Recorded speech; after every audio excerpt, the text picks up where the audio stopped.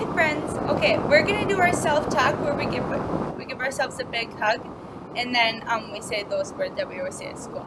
Okay, so give yourself a big hug.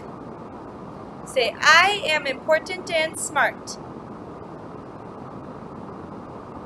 I am ready to learn. Good job. It's good to say those nice things to yourself because that helps you feel good about yourself and it helps you get ready to learn. All right, see you later.